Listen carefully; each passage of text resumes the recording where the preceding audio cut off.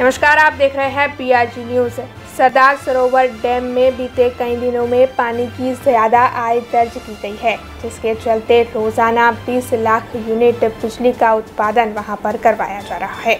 नर्मदा ज़िले के गरुड़ेश्वर तालुका में एकता नगर स्थित सरदार सरोवर नर्मदा डैम का जलस्तर आज दोपहर को एक मीटर दर्ज किया गया था। हर घंटे 10 से 12 सेंटीमीटर बाँध में एक दशमलव तीस लाख क्यूसेक पानी मिलने से जलस्तर लगातार बढ़ रहा है। ऐसे में वहाँ पर रोज़ाना 40 लाख रुपए की 20 लाख यूनिट बिजली का उत्पादन हो रहा है, जो रिकॉर्ड ब्रेक कर रहा है।